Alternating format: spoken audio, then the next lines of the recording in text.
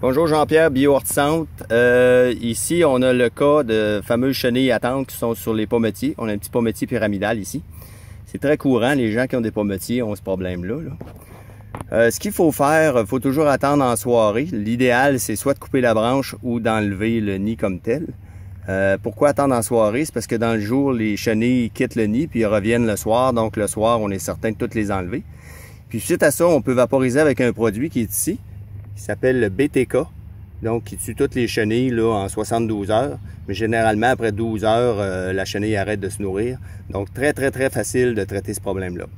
Bonne journée!